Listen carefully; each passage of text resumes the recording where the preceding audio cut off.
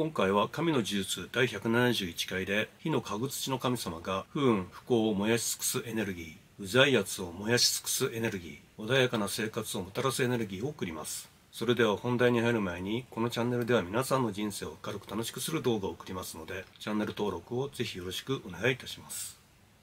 それで火の家具土の神様ですがこの方はもちろん火の神様でご利益は鎮火火難よけ郷土守護土地の守護陶器業守護製鉄業守護鉱工業守護守護金運アップ開運昇福となっています